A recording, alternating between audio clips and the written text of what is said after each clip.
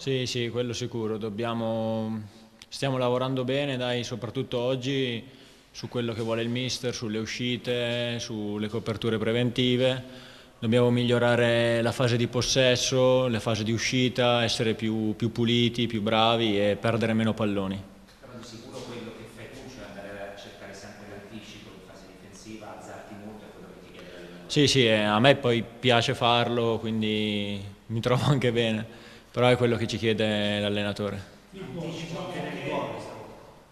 Per fortuna, dai, è andato bene. Filippo, a che punto è il Pescara? Perché rispetto alla gara con il Rimini si è visto sicuramente qualcosa di meglio, però l'impressione insomma che manchi ancora qualcosa per la squadra formato campionato che domenica prossima il campionato Esatto. inizia.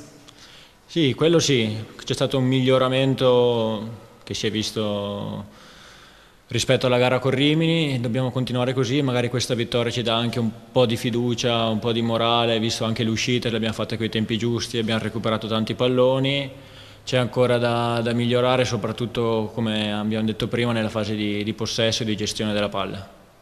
Cosa vi ha detto Colombo a fine partita? Insomma, avete avuto modo di analizzare seppur brevemente